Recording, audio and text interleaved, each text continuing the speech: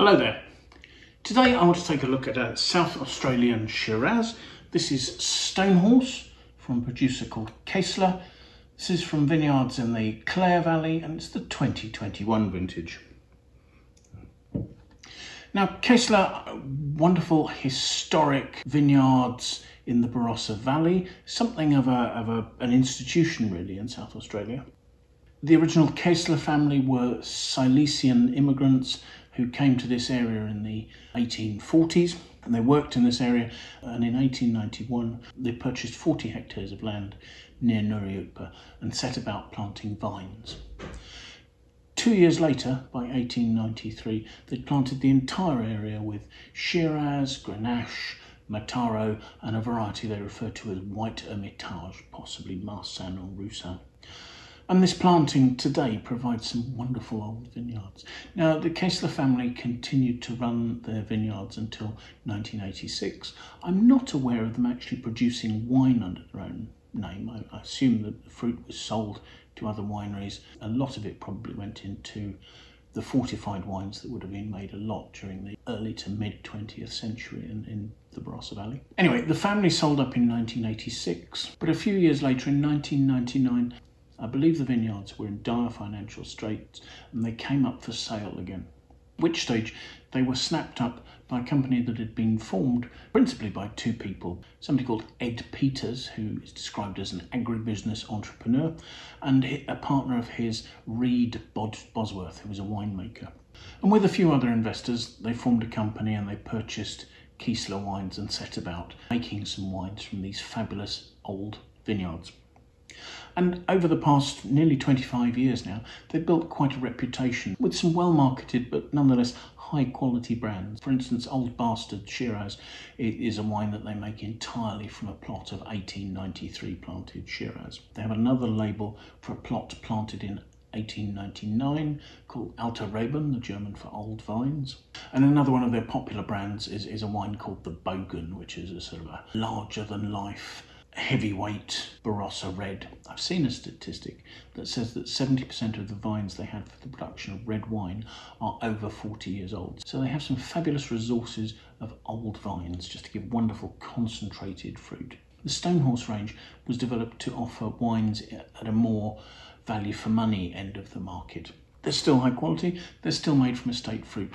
But for instance, instead of coming from the old estate vineyards in the Barossa, this comes from vineyards planted in the late 90s in the Clare Valley, so about an hour's drive north of Barossa. And here we're about two hours' drive north of Adelaide, an equally warm region. Now, here they talk about the soils being heavy brown soils, so I'm assuming brown clays.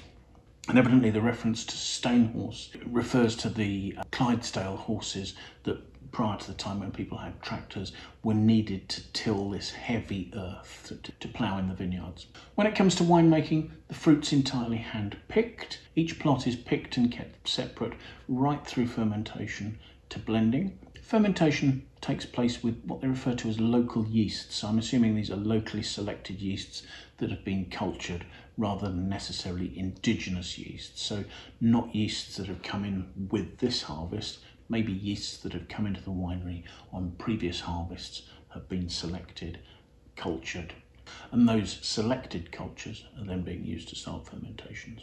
They say the juice had good skin contact and that was allowed to go on for 10 days during fermentation.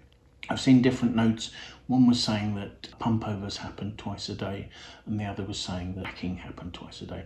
I think it would be very extractive if you were doing a rack and return twice a day for a long period of time. So I think pumping over twice a day with occasional rack, rack and returns sounds more likely to me. At the end of fermentation, the wine was pressed off the skins, was left to rest for a day. It was then put into oak barrels to do its malolactic conversion. The oak that's being used is four-year-old French oak. Following malolactic conversion, the wine was racked off its lees and returned to barrel, and the wine stayed aging in barrel for 15 months. So let's have a look at the wine.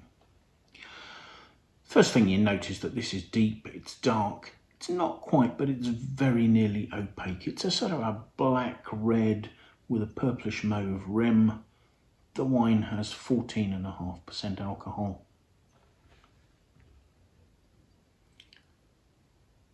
and is clinging to the glass quite readily.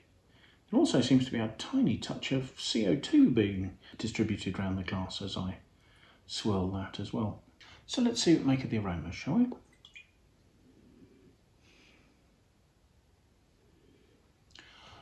The aromas are rich and there's a lovely dark purple fruit concentration, almost like sort of black plum, damson, bullace, and yet there are sort of more red fruit notes, red plum. Uh, there are notes of, of, of other black fruits, sort of blackberry, black cherry, a sort of a richness in the mid palate.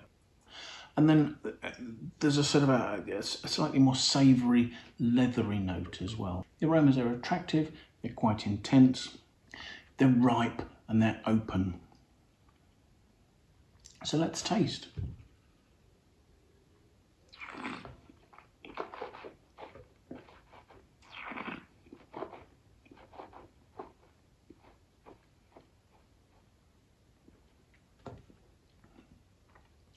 On the palate, the wine is rich, it's warming, it's alcoholic.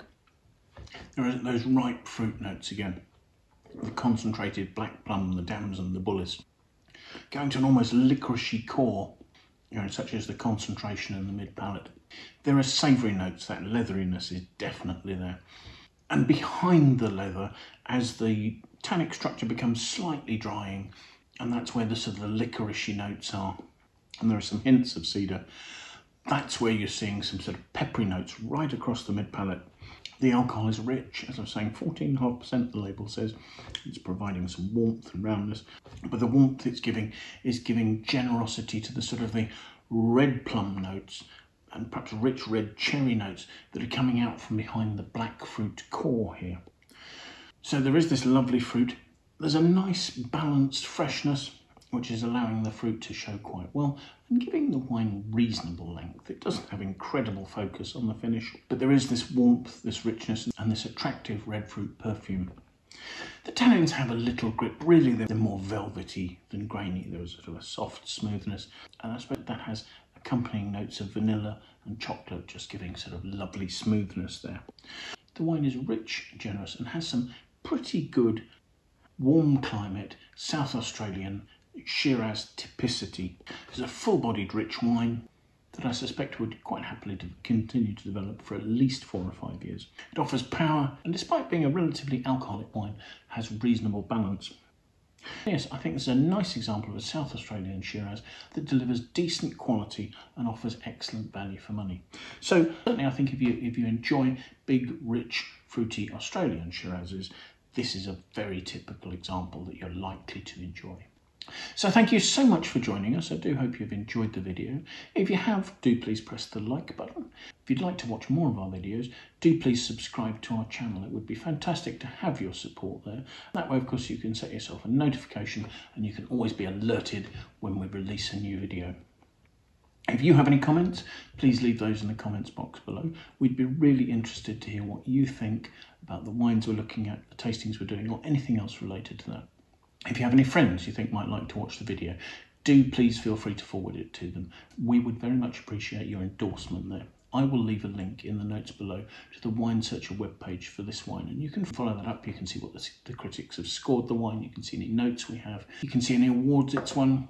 We have a section with a price history. Obviously, you can see pricing and availability of the wine, any background we've got on the winemaking, and hopefully all the information you might need to make an informed purchasing decision for a wine.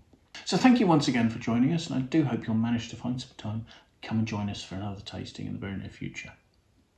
Bye for now.